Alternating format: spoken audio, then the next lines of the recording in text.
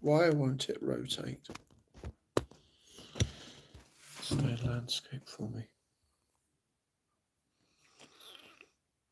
-mm.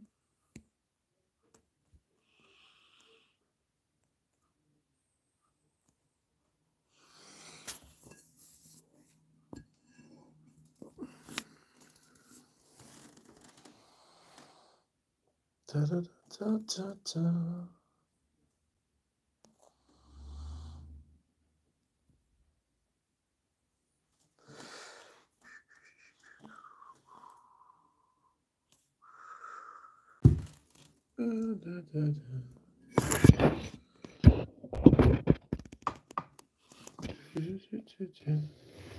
Assalamu alaikum wa rahmatullahi. Welcome to my live. I thought I would do something different today and speak on this live more about how the effects that are going on in Europe as we speak today, um, especially when it comes to the European Union and how things are shaping with Russia. Now, many people are genuinely concerned about what's going on here. Um, personally, I'm a little less bothered. What will we be will be. There's not much I can do about it, and there's very little anyone else can do about it as well. What we can do about much of what goes on in the European Union is how it directly impacts us Muslims, how we can be seen as being charitable, how we can be seen aiding the weak and the needy that continually rush. And if there is going to be a war in the Ukraine, it is something for us to anticipate and see about allowing the Prophet, peace be upon him's mercy, be seen by the European people because we are always seen in the media as the bad guys. This is an opportunity for us to actually show the beauty of our deen to a European community that genuinely only sees negativity about Muslims personally, I find it kind of disheartening when people tend to talk a great deal about our religion and lack any kind of knowledge in what they do and in how they do it.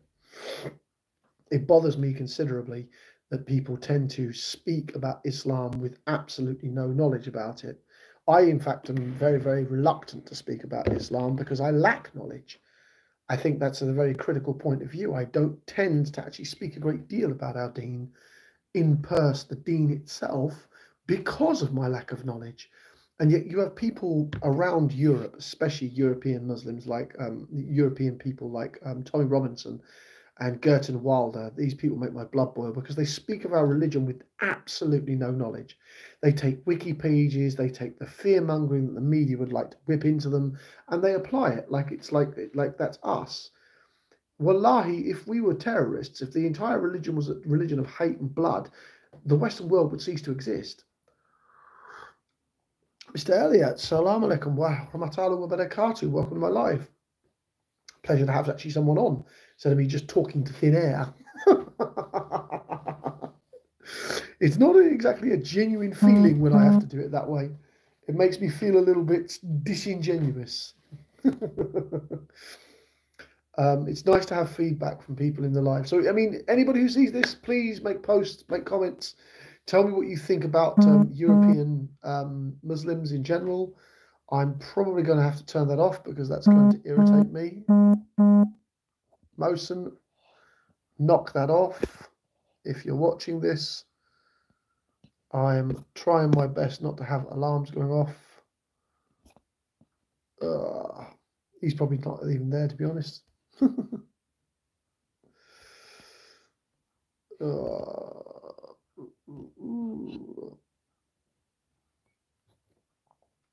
so it doesn't look like I've even got anybody in my chat room.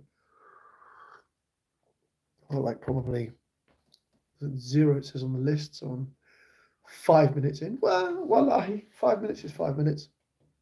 But as I was trying to get to, European Muslims have a very different set of lives, problems, we have our brothers and sisters in France who are continuously persecuted. We have the issues uh, of things like Belarus weaponizing Muslims, inviting them over, then trying to push them into Poland, which is a country that is deeply hostile to our religion. To say that Poland is anti Muslim is an oxymoron. It is enormously anti Muslim. um, as a country in general and in political ideology, um, relatively speaking. So it's it, it's not um, something that can be genuinely measured when it comes towards European Muslims. Wa alaikum salam, sister, working on my live. People who do not understand how the European Muslim tends to live their lives, it's a mixture of considerable privilege in comparison to some of our Middle East brothers and sisters, and a mixture of persecution, fear, and hatred, as well as some genuinely kind and caring human beings who generally don't care that we're religious.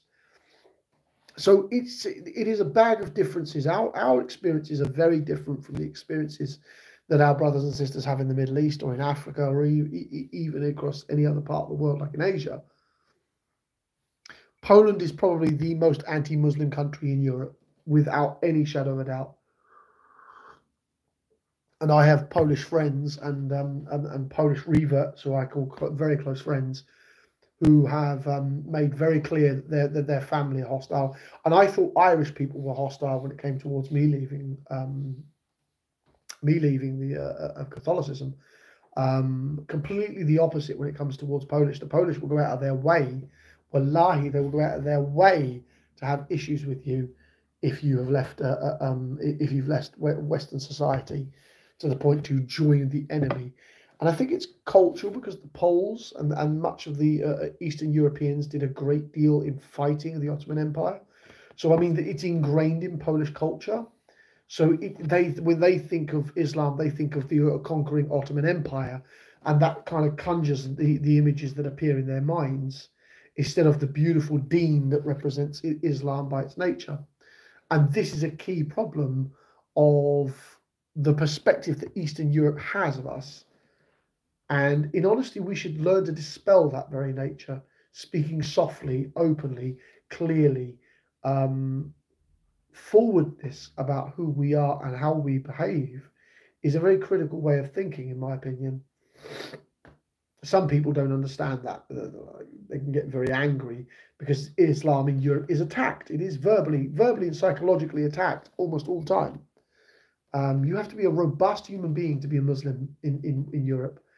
Not so, you know, where, let's be fair, most of the Muslims in the Middle East aren't actually living in Muslim countries.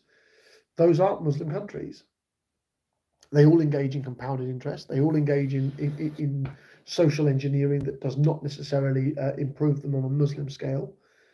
So, I mean, Europe is, in my opinion, the next, I don't know how to say this je ne sais quoi. It is that next, it will be the next land. It will be the next opening of Islam. I think our next golden age, because I don't believe that we are going to, that we are in the exact end time, that this is this is the end of Islam, the end of the world. No, actually, I must be honest with you. I'm, i I, must disagree with you there, uh, uh, Rakon. Um, Poland is incredibly, incredibly bad. In France, you can still be Muslim and not be attacked. Um, France and Belgium, they you're just distrusted, disliked. But in Poland, Polish Polish gangs will go around and attack Muslims. Heaven forbid you are happen to be a Polish Muslim. That's even worse. They've, they've, they've and I thought being, being being an Irish Muslim was bad. Well, Wallahi, I haven't got a shade to these people. But no, France is bad. Let's let's not sugarcoat it. I'm not saying France is some kind of uh, paladin of pro-Islam. Um, I would dare say that Scandinavia or Germany is the most ben, uh, benign country to live in as a Muslim, um, next to possibly Italy. I think Italy is more ignorant or less interested in what you're doing religiously speaking. Whereas Scandinavia tries to do its best to make everyone feel accommodated. I'm just saying that the the Poles, the Polish Muslims, are some of the bravest people I've ever met in my life, because their culture is so anti-Ottoman that the idea of you sharing the religion of the Ottomans is almost like racial or tribal betrayal to them.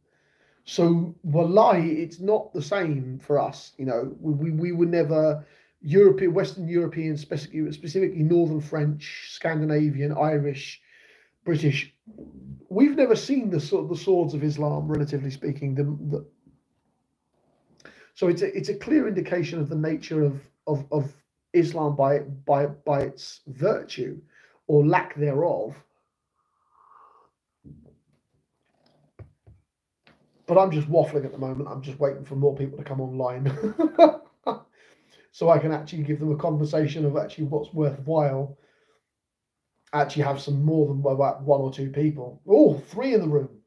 Alhamdulillah. Assalamu alaikum to everyone joining my live. If you are joining, um, it is a pleasure to have you. Um, I'm open to any questions, any kind of uh, conversation. I'm going to be doing weekly lives now about Thursday from two o'clock till three. So I'm kind of eager to get anyone's opinions, information, what you want to pass. Anybody want to talk, knock themselves out. Uh, my, live, my, my comment sections are wide open, and I'm genuinely very amicable.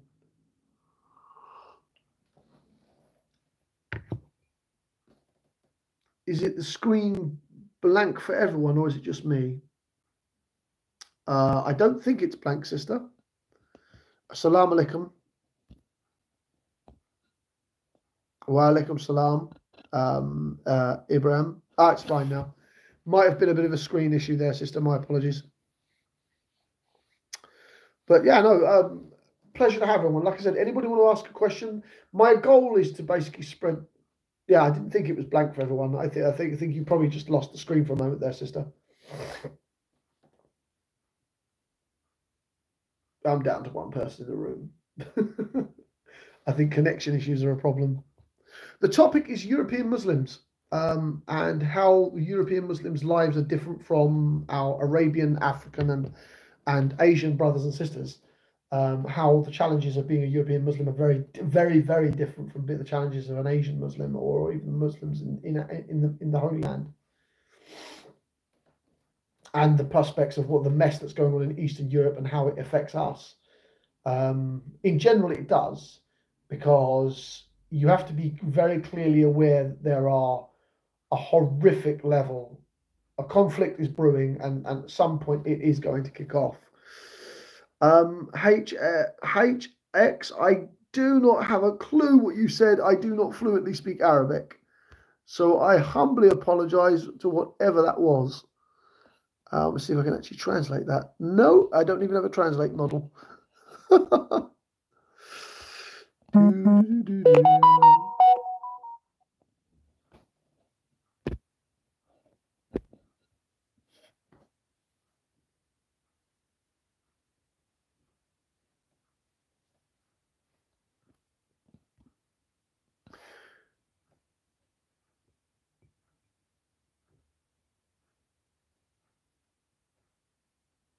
Ah, wa alaikum salam. Um, thank you, sister. Like I said, um, my my fluency in is in, in Arabic is dreadful, beyond dreadful.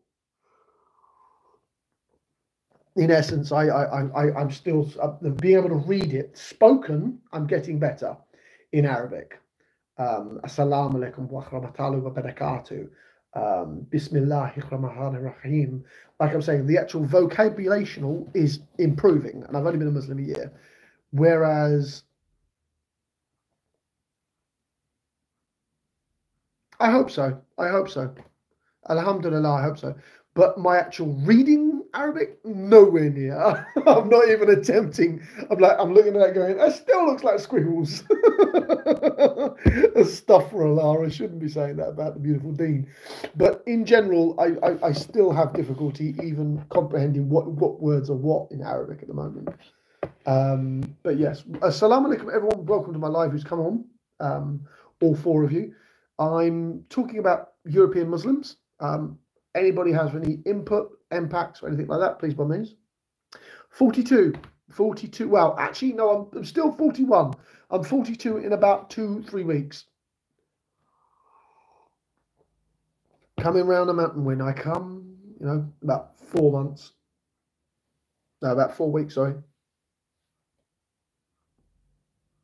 Oh, absolutely. No, no, no, no. This is what I'm saying. We're not worse off in terms of food, shelter the basic necessities are made for European Muslims. It would be it would be in area of me. No, I'm not married. Alhamdulillah, I'm not yet. Yeah, no, uh, and, and, and that that is entirely true. I mean, to be fair, it is being Muslim isn't a problem for us, other than online and social media, and, and for our sisters. The amount of astaghfirullah, the amount of attacks our sisters get in public in Britain I think the biggest problem with British Muslims is the attacks on our hijabi sisters, and it's disgusting. And more and more men need to actually speak up about that, and it needs to be something that should be openly spoken of when when it comes towards things like um, it, it, when it comes towards problems involving our sisters, we should speak up more about it, especially in Britain. You every other every every second or third. Sorry, I'm just going. That's not a problem. Yeah, especially the niqab sisters. Absolutely. I mean, every second or third thing you hear in the press that goes on involving Muslims and Muslim hate crimes, they're on our sisters. And we men need to speak more and be seen doing more. Our sisters are the jewels of Islam, Alhamdulillah.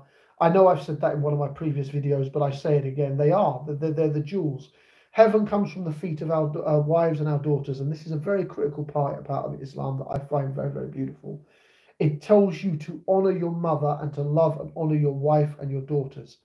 And I think that should be something that should be always reinforced, especially amongst young men, especially in this day, especially in this dunya of today. You know, when it's easy for young men to think that there's something more than what they are. You know, we maybe it just takes a few decades for, for, for boys to get an idea of what it means to be men um, or maybe I'm just rattling on because I'm actually mature enough to observe these situations. But it needs to be said. And I personally, and, I, and, and it isn't even exactly peaches in the German uh, Muslims either. Our German brothers and sisters don't have it exactly peachy. There's uh, there's an uptick of anti-Islam in Germany as we speak, which is quite frightening when you think about it. Um, there's also an uptick of, of, of, anti-Islam across the whole of Europe, to be honest but it's not as prolific in Germany and Scandinavia, and even in Britain, to be honest. People give my country a lot of stick, but it's not that bad. I mean, it could be far worse. France, Belgium, they're far worse countries to live in Islamically than they are here. Wa alaikum salam. Welcome everyone who's coming. But no, no, Germany is bad, but nowhere near as bad as some of the countries that are out there. I mean, France and Belgium are probably the worst next to Poland, and I cannot stress this enough. Poland, from Muslim point of view, is one of the most horrific countries to be in. Um, hostility is, is an understatement, relatively speaking. And more needs to be said about it. And the disgusting behaviors of people like Belarus and the Russians weaponizing human beings and their tragedy astaghfirullah. It has to be spoken out about. Now, that doesn't mean I'm looking to procure something. Yeah, with Britain, it is a subtle thing, but the British, British racism is, is ingrained. It's it's not as bad as some other European countries, but British racism is is still a problem. Ah, Jordan sent you, did he, a few weeks ago? Fantastic. Um, oh, that was that was weeks ago, was it?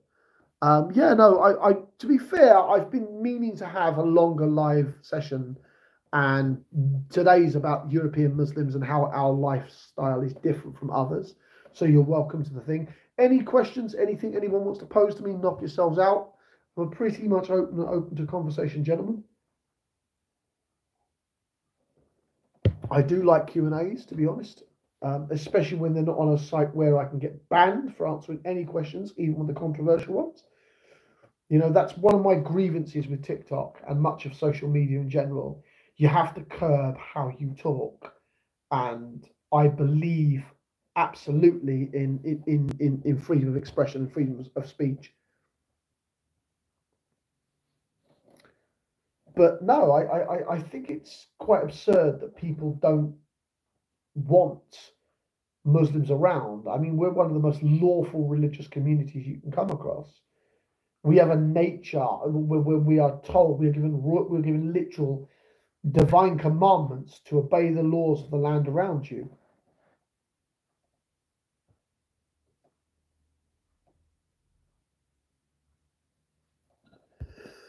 Let me see that again. Uh, Turkish are hardwired in, in, in Germany, so Islam is part of Germany nowadays. Therefore, the German regime has to tolerate Muslims. Mm, fair enough. I mean, I, I don't know how big the actual Muslim um, community is in Germany, to be honest. TikTok gives me anorexia. It throws so much at you. Oh, yeah, no, absolutely. TikTok is incredibly toxic place. I don't know how some Muslims stay on there all day long. I have I can do it in blocks. I take 10, 20 minute blocks and that's it. I've got to get off because it, it, it'll assault you. It hits you like a train, TikTok. Instagram, less so. Um, one of the things I like about Instagram is how many cat pics are everywhere. There's like cats, meow meow. They're everywhere, absolutely everywhere across uh, um, Instagram. It's probably one of the things I like about Instagram uh, is how many cat pics are out there. Um, but no, TikTok is incredibly toxic. But no, Germany. I, I didn't realize Turkey has a big population in Germany. Um, I genuinely thought that um, Germany's population is uh, of Muslims was a lot smaller than, than, than, than, that gave indication for. I know they're quite large in Vienna, um, Vienna, the city thereof, because I've been there, and the Muslim community is something like 100, 120,000 people there.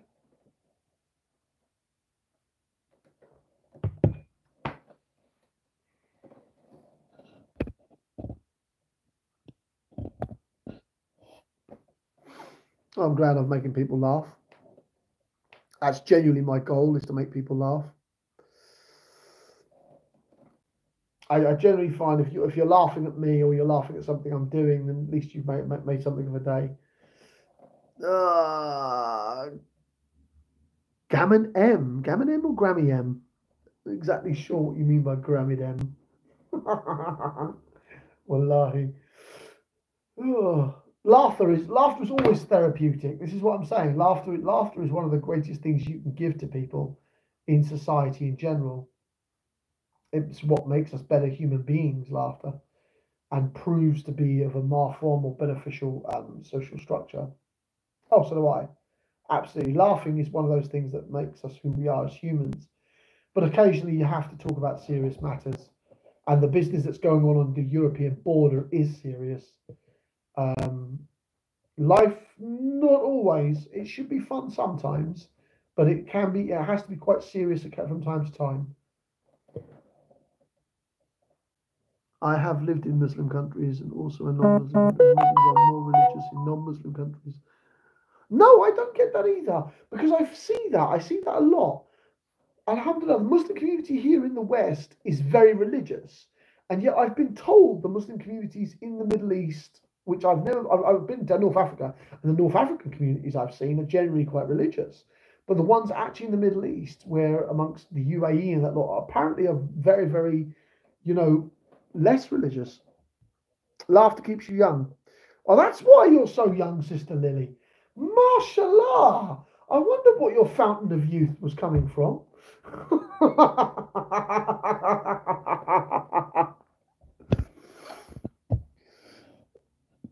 we don't have what we had back home. The fact that they can hear as a, is a big thing. This is you now. That's one of the reasons why I would consider moving to Turkey or Morocco. But then the more I see how Morocco is deporting people from countries, the less supportive I am of their government. Their king, I think, might be a bit on the weak side when it comes towards dealing with his own politicians. Um, I think it's because he doesn't want to be seen rocking the boat when it comes towards democracy um, for whatever that's bloody worth. Let's take a look at the modern democracy. It's a joke, in my opinion. Um, it's one of the few things I don't necessarily agree with. Freedom of expression, freedom of speech, absolutely. Democracy, democracy is an engine for the corporate world to take the people for a ride. Now that doesn't mean I'm pro-capital, uh, pro-communist either. It just means I know the faults in capitalism and democracy, and they can't be allowed to be exploited. Laws should be written to defend people.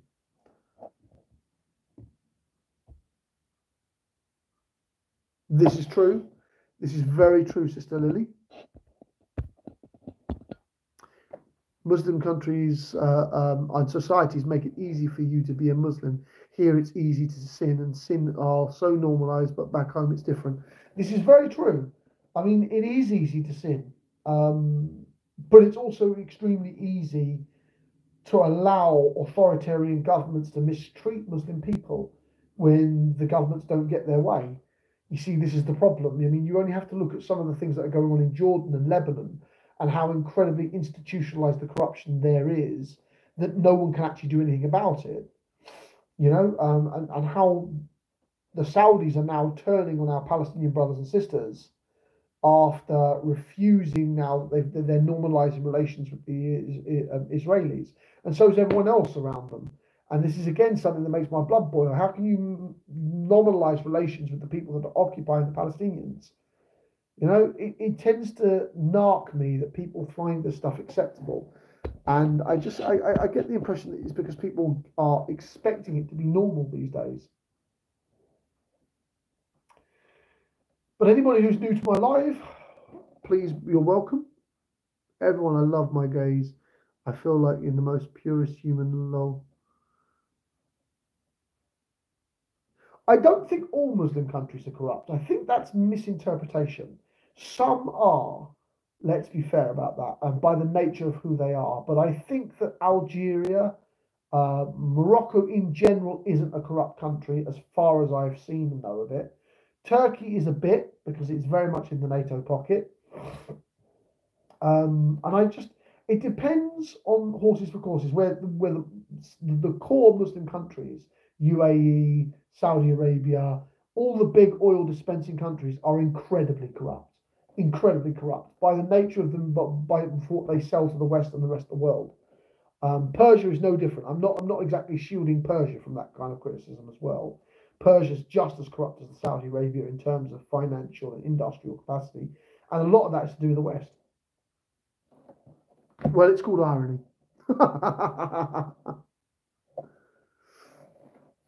um, but yeah, no, I, I, I, just the idea that I would like to live in a society. The, my problem is I want to take the best of the West and then add Islam to it. This is very true. This is very true. The, the Muslim rulers are attached to this dunya, very much attached to this dunya. And yet the rest of us are too busy wondering about our deen, thinking about the other, the next life. Oh, astaghfirullah. Lily, not a chance.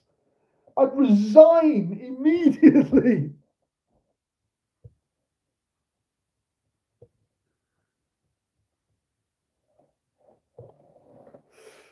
I just not a chance. Me as the Muslim world leader, oh, I'd, I'd outlaw the use of oil. I'd destroy the oil economy overnight. It's haram. It leads to banking. Strike it off the books. Declaring oil haram. That would be something. Watching every Saudi prince and businessman cry. Oh, that would tickle me. to be fair, we don't need oil anymore as a species, um, as a, as the human race. As, uh, we don't need it. Um, as uh, oil in upon itself is is, an extremely toxic um, material. It damages our planet. It, no, no, completely. Imagine it. Imagine, imagine outlawing oil. Astaghfirullah. You can imagine the Arab lords crying absolutely crying. oh, I'd be assassinated in about the first week. Oil is haram.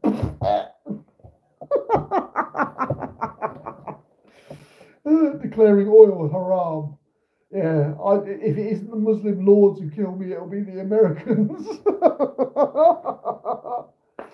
I'll be dead in a week. I would. I'd be dead. Uh, Sister Lily made this comment about me becoming the, the Muslim ruler president of the world. Not a chance. Oh, they, it's entirely plausible. Like I said, it, there are so many memes online about America bringing democracy to anyone who's got oil. You got a problem? Like, let me, let me be fair about this. I love Somalia. I love how rich and ancient its culture is and as its people are, and how magnificent a country in its history is. The problem being is it has nothing of value. And because of that, the West and the world does not give a fuck. You know what I'm saying? And that's why the Somalian warlords and various factions have been allowed internationally to get away with what they've been doing since the 90s. 30 fucking years this has been going on, you know? And because of that, no one cares. Somalia has no resources the West wants, and China only wants to use it as a stopover. They literally just want a port. So no one cares what goes on in the countryside of Somalia. Even the Africans don't care. And that, that, that that's that's the key reason. There's no money to be made. Therefore, people don't give a damn. No one wants to invest.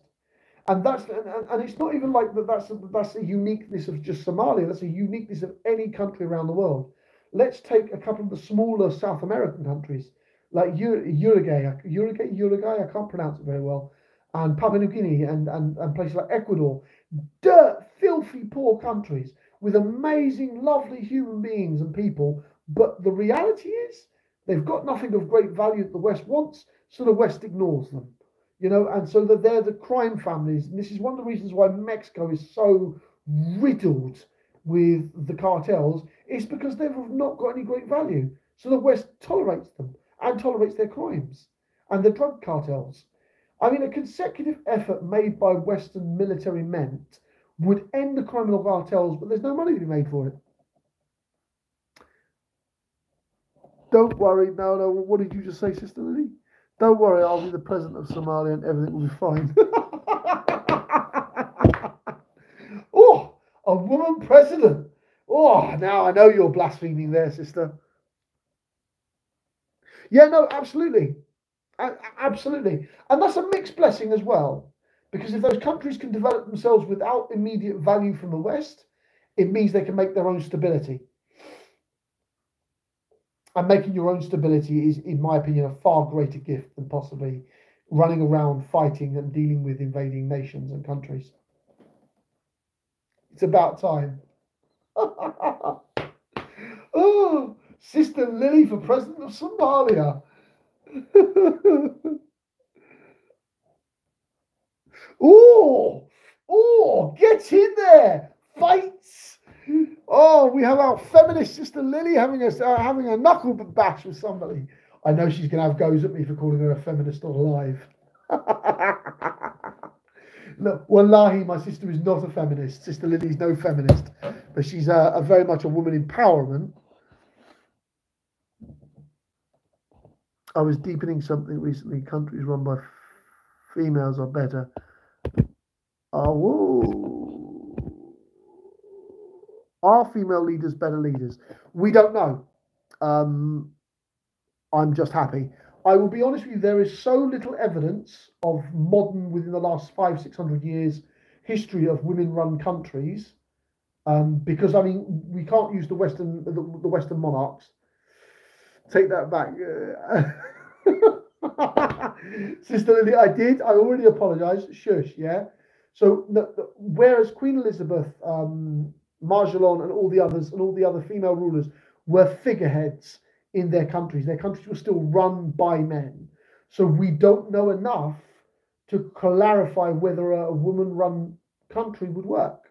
We don't know because it's never been done. There, there are no women cabinets. There are no women-run governments uh, in per se. Queen Elizabeth II was not uh, is not the ruler of our country. Queen Victoria, even in the 1800s, was not a ruler of our country. So we don't know. That it's fair to say that. And I, I don't even feel bad at saying that as a historical point of view. We don't know what a woman run country looks like. I don't know of any examples internationally of where a country is run by women. As of yet, maybe New Zealand's done it, women should lead in the house when it comes to raising the kids and giving them great. Uh... I am not touching that with a barge pole. I am not going near that with a barge pole.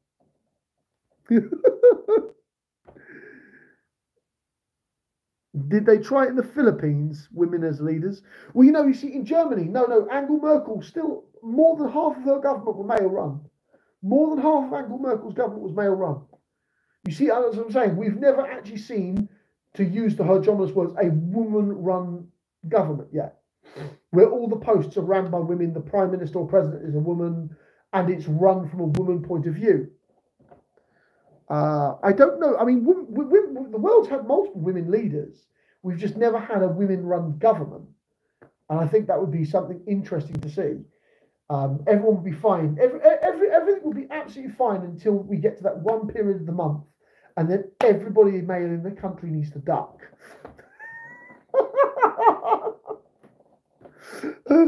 I know that's probably extremely inappropriate, but that is. And women uh, women uh, not being prophets, for example, that tells us a lot. Absolutely, I, and I agree with you, sister. Absolutely, women not being prophets. Again, I, I, I agree with that sentiment entirely. This has devolved. This entire life has devolved into uh, whether women would make a good rulership. I'll be honest, I don't know. I, I, I, from an academical point of view, it'd be interesting to know. I'd, I, would be curious to know. Created to be mothers for the most part, so I guess it is very difficult to have a woman uh, uh, as a president of the country. If she ran the country as a motherly behaviour, wallahi, that might actually work.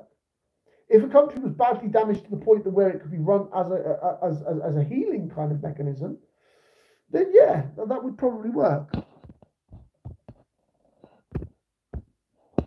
Uh, psychologically, men are interested in things and women are more interested in human beings.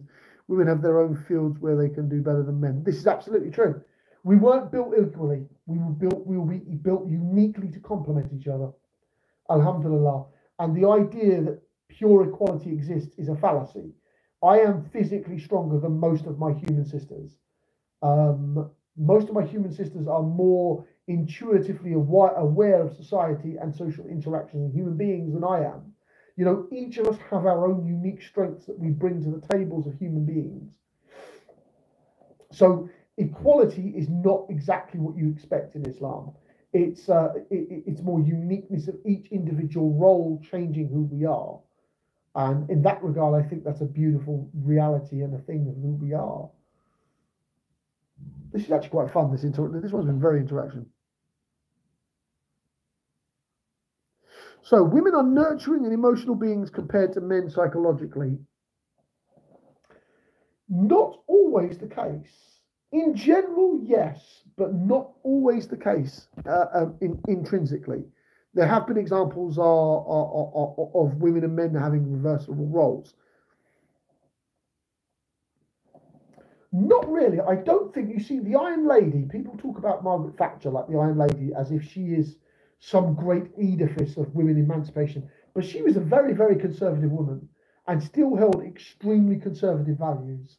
I mean, Theresa May is an example of another political leader who you could say is very masculine in how she ran the United Kingdom. Um, I say run in the loosest tense when we're talking about um, Theresa May. Oh, okay. Women should be more emotional. I should have said absolutely. Absolutely. No, no, in that regard, I, I agree with your sentiment. But that doesn't necessarily mean that they can't be more masculine. That there are examples of masculine men, uh, masculine women, who by their nature exude a level of authority that can allow them. I mean, Hillary Clinton is, is, is the poster child of a masculine woman. Anyone's better than Boris Johnson. Wallahi, anybody on this planet is better than Boris Johnson. Boris Johnson will go down in history as our absolute worst prime minister the United Kingdom has ever had in any way, shape, or form. Um, he is he's worse than Neville Chamberlain, and I didn't think I, I would as a history as a historian I would never have thought I'd say that that Neville Chamberlain was a better prime minister than Boris Johnson. Neville Chamberlain's crime was being naive. Boris Johnson's crime is being a deceitful, lying, backstabbing, corrupt, uh, the rules don't apply to him pile of regurgitated pond scum. And that's Boris Johnson in a nutshell. The man has never, ever been allowed to have say no to him before. Yeah, men advisors, this is what I'm saying. Much of Western society, much of Eastern society, women who have been in power have always had men as support around them. No, I, to be fair, to be fair, that was a vote change. Like I said, that was entirely calculated. I don't believe he actually believed that. Wallahi, I don't think he believed that. I think it was more designed to get the right wing vote behind him. And in that regard, he's incredibly dangerous because if it was a faux pas, we can forgive him for that. Wallahi, you can forgive him for that. He did it because he was courting the far right. And that's disgusting. It's worse than you think it is. Boris Johnson, when he made those comments, was making a calculated decision to court the radical far left, right. So it's it's it's if it, if it if it had been just a matter of stupid comment, we could have easily have, have forgiven him for that. Um, but Boris Johnson was doing it to court the, the the populist right, and he is. He's a populist in general. He's not even what you'd call a proper conservative prime minister. Um, in at the fact of the way he behaves, how he's blackmailing MPs who are calling him into question. I don't think he'll make it out of the beginning part of this year. I expect him to be gone by March. Um, but then I said that about Feb- uh, uh, about over Christmas. He's definitely on his last legs. Oh no no, he, I, I can't stand. And I would consider myself a moderately conservative man. I vote for local politics. So yes, I voted for my local MP, who is conservative, and but I've also voted for Labour MPs as well. So I tend to vote what is more local than party. But I would vote for anybody that would get rid of Boris Johnson at the moment. There are some honest politicians, not many of them. Um, they, are far and few between, but the ones that actually work for their communities, oh, wallahi, my apologies. Um, in, in specifically fuel shortage. This conflict with Europe in general is based around Europe and Putin. Putin has a legitimate grievance with NATO. NATO has been gobbling up countries on Russia's border, making Russia paranoid. The Russian people are, by their very nature, extremely nationalistic, extremely prideful of their country and their country's history. They were prideful of their Russian empire.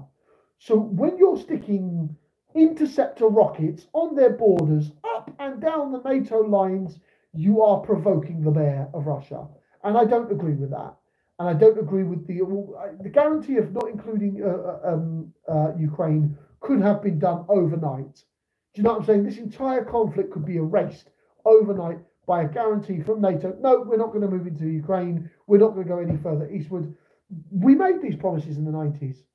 Western leaders made these promises in the 90s and then ran them straight over. So yes, there is a great deal of risk that's going on there right now. And but then it's the nature of of Western uh, politicians to lie through their teeth. How do you know a Western politician is lying? He's speaking, especially on a world stage.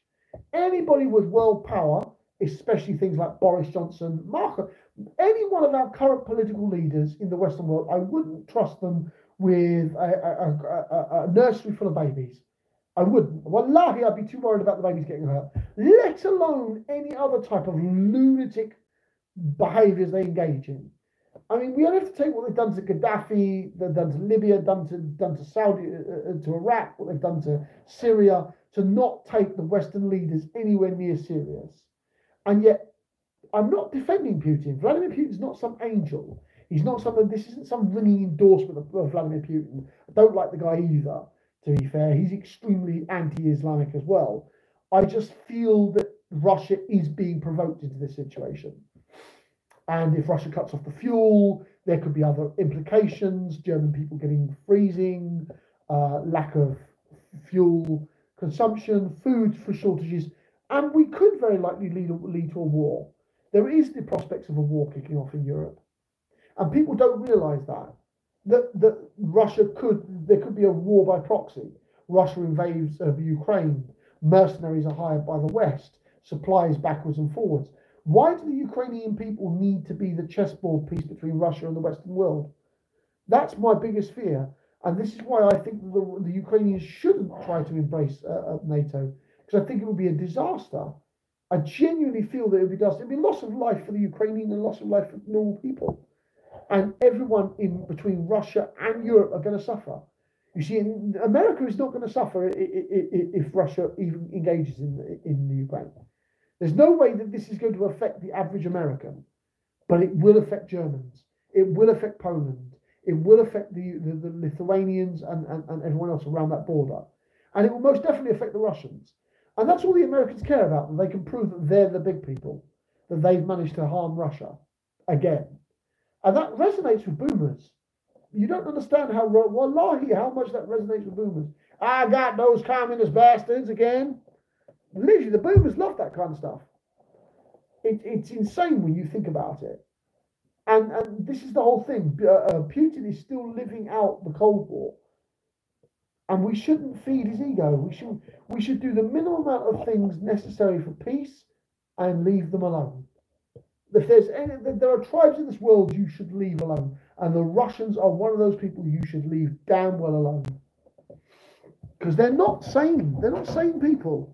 You should watch how their police behave to realize how crazy the Russian police are, and then you realise the kind of level of how craziness the Russian people are, just by their nature of who they are and what they do. It's kind of astounding that some people actually don't realise that Europe is such a precarious peace is such a precarious thing to hold. And it is. It's, it's such a beautiful thing and so difficult to maintain. And I don't think people actually realise how valuable peace is. And it could engulf us. And I wouldn't be surprised if it, if it devolved into nuclear warfare. Because we have an idiot, we have a dribbling idiot in America, a populist here in Britain will do anything to stay in power.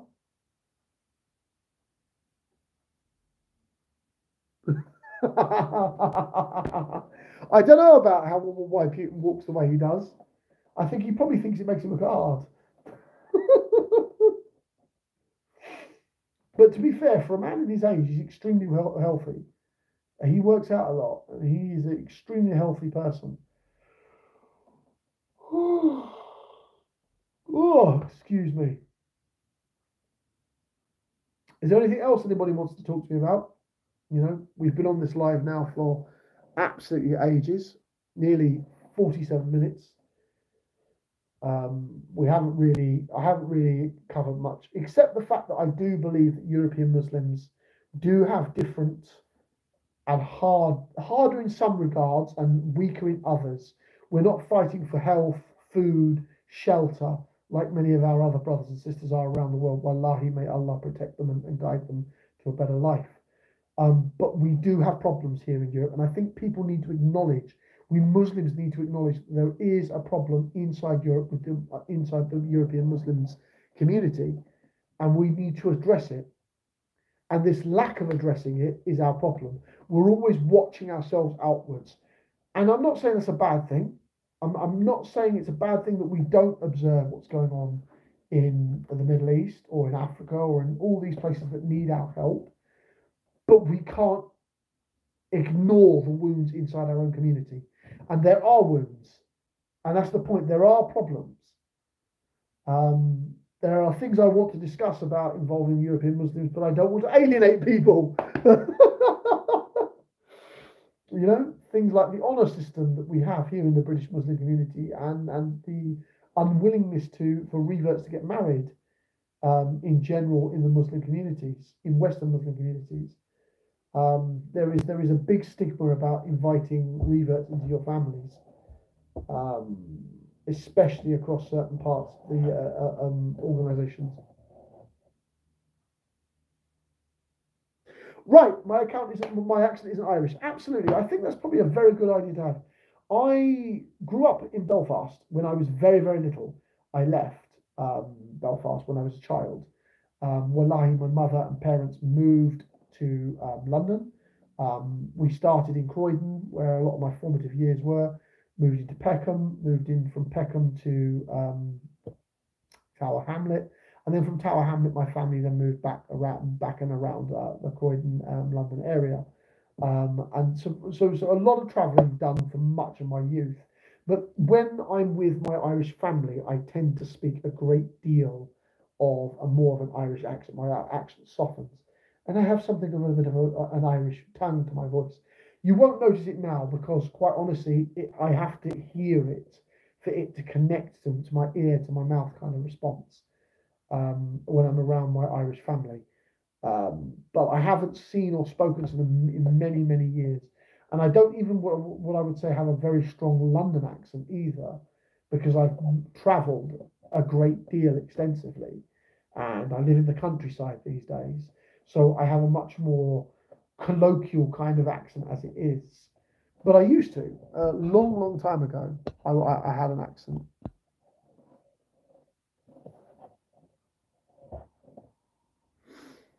I hope that answers the question for you. Uh, ooh, who was asking?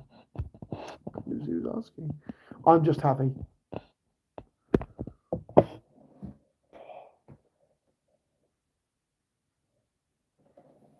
Any other questions? We've got 10 minutes to kill, guys. Come on.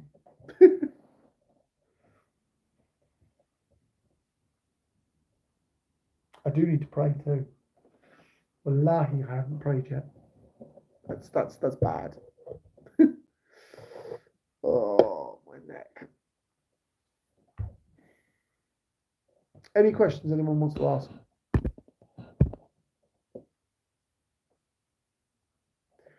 I don't even know if this is ten minutes. Yeah, no, I'm only going to do about an hour. H. Um, to be honest, I've been on here. I've been on here nearly an hour now, and I I can I, I think it's more because I can't concentrate longer than an hour, um, and maintain focus on the conversations and the material that I'm asked to uh, drag up from just memory.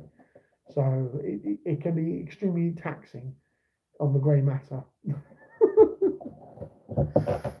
um, especially when you get old and decrepit like me.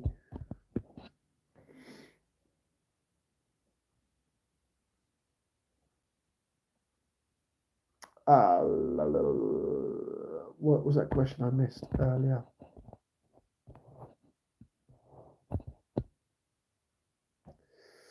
Why does Putin walk funny? No, I answered that. Back to my topic. No, it's not. It, Europe is not so much in danger of a food shortage it's more in danger of political instability because of Russia taking issue with it. Um, there is there is the, Europe is in the most precarious political solid show I've ever seen right now. And the problem being is a lot of European countries don't have militaries. A great deal of Europe is actually protected by Britain, France, and America. It's quite frightening actually. When you think of the population of Germany and the size of her military, is almost a joke and it's not a good one. Um, in in as in aspect of the fact that the, the, population of Germany is staggering, and yet her military you could fit it in one of the in a couple of the a couple of the brigades in Britain. Wa alaikum salam. Welcome in uh, Indonesia. Lovely to speak for you. But no, the European situation is precarious politically because anything could possibly happen. Is mourning the past haram if done frequently? I please ask a scholar. Um, I will be honest with you that I think so, but please ask a scholar because they would know more than I do on that subject. I know very little about the mourning ceremony, but I think if you were to do anything consecutively, it could be haram if it's misappropriately uh, undone, if that makes sense. And I'm only just using logic there. I don't fully know myself. So I can't give you a, a, a, some kind of like a ruling, if that makes sense. I'm not even, I'm just a lay follower. Uh, astaghfirullah. But honestly, I would look. I, I would look for other people online, um, or, or or speak to your local sheikh. That's a question you should ask the sheikh. To be honest, and it's that's just my general advice whenever I'm on lives on on, on other social media as well don't take people on, on, on social media too seriously. Um, they may not they may not necessarily have a clue what they're talking about. Let's take me for an example. Let me share something here. Islamic equations like is 10, it could be 5 plus 5, 6 plus 4, 2 times 5. I, it's not about 5 plus 5 when 10 as only answer is Lam is the most flexible religion. Yeah, no, no, I, I can attest to that, and I can agree to that. I think that's a that's a pretty profound way of looking at it. Yeah, not something I would have personally have perceived. Think back to your childhood every day and need to snap out of it. Very much so. We need to think and act like adults. Because we are the adults that are responsible for the Muslim children of tomorrow and the ones that defend our elders.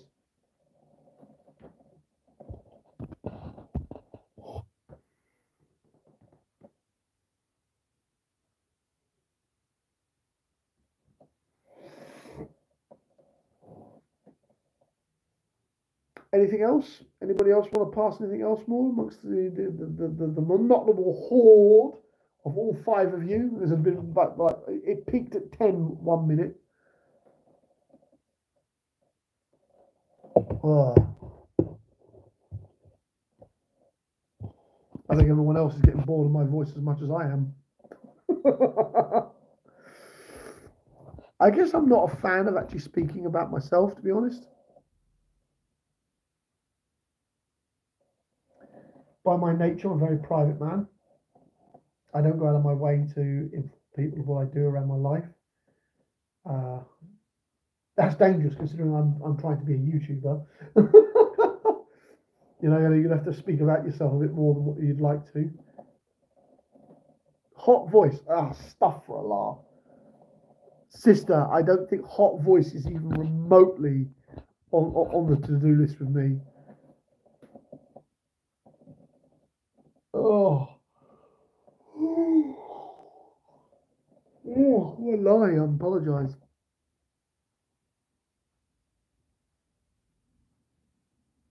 Because of the, of course, stuff for a laugh. A stuff for a laugh. I know.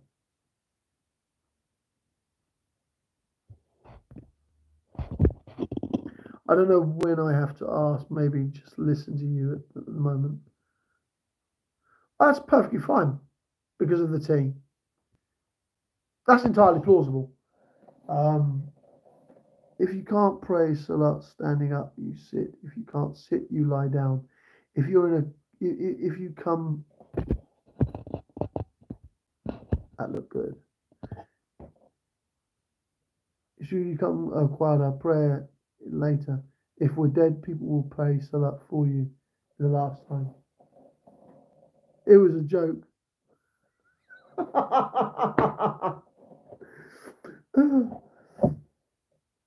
no, it's not a problem. It wasn't that bad, H. It wasn't that bad.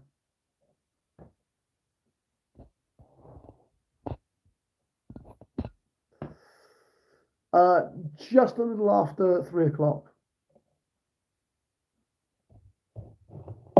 H, your English isn't that bad at all. I've seen far worse English speaking from English people. Some of the worst people who speak English, and I'm, I'm, I'm going to be pleased to, if I get pulled up on this, Northerners, especially that lot from Yorkshire. Yorkshire? I'm from Yorkshire. Newcastle.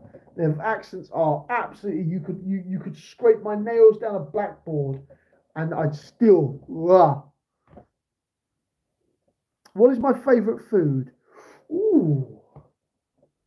My all-time favourite is pie and liquor, but that's a very much a London recipe. It's uh, it's mashed potato with sauce, a pie, and some fish eels, um, generally in water or, or, or jelly. Um, and it's a very, very traditional London food. Scousers and Mancunians, absolutely. Get out of here with those dirty accents. I've got no time for Scousers. Mancunians. I'm gonna get I'm, I'm gonna get absolutely torn into by some of my friends because some of my close friends are Mancunians and, uh, and and Northerners. No, I'm not a fish and chip fan to be honest. I like fish and chips, but not every day it's not what people think it is. I don't. I, am not a big fan of fish and chips on every day. Not even every month I'll have fish and chips.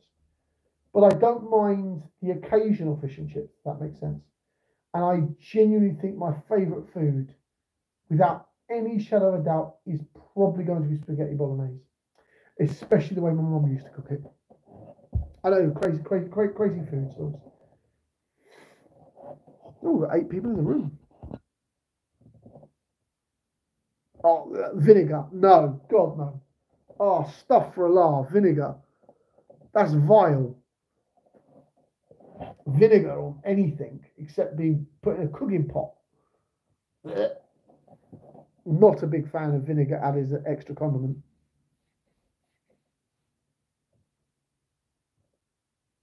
My mum's food is absolutely the best. My mum will, my mum is and always has been the greatest cook I've ever met. In fact, she was one of the people that made all because of the way she cooked was the reason I took a, a mid career in chefing for about 10 to 12 years. But it's been a pleasure having you all. That's the hour, and I'm going to cons- consider shuffling off to pray and to discuss my mind. I have not been to Mecca yet, no.